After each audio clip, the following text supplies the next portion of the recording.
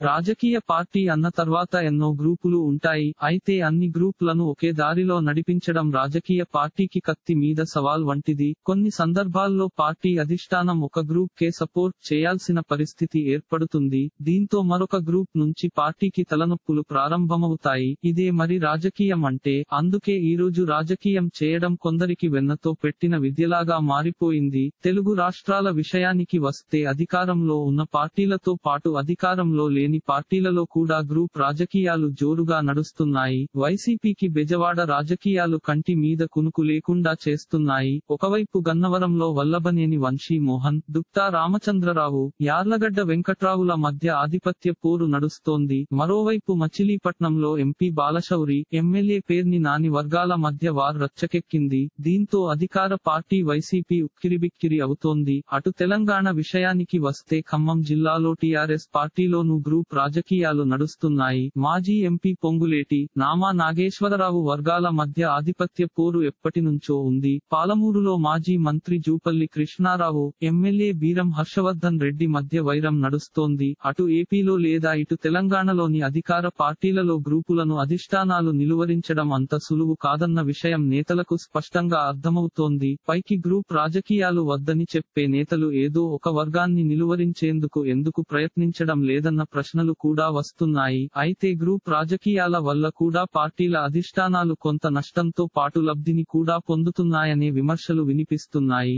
Group రాజకీయాలలో ఎవరో ఒకరిని హైలైట్ చేయడం ద్వారా మరో వర్గాన్ని మరుగున పడేసి ఎన్నికల వేళ టిక్కెట్ల విషయంలో పోరు లేకుండా చేయవచ్చని కొన్ని పార్టీల వ్యూహంగా కనిపిస్తోందని రాజకీయ పండితులు విశ్లేషిస్తున్నారు. పైకి మాత్రం పార్టీ అధిష్టానాలు అవేవీ తెలియని విధంగా నటించడం రాజకీయాల్లో కనిపించే కొసమెరుపు అని వివరిస్తున్నారు. ఇలాంటి మరిన్ని తెలుగు వార్త విశేషాలు కోసం ఛానల్కి సబ్స్క్రైబ్ చేసి గంట నొక్కడం మర్చిపోకండి. ఈ వీడియోని తోటి మిత్రులకి షేర్ చేయండి. మీ అభిప్రాయాన్ని కామెంట్లో తెలపండి.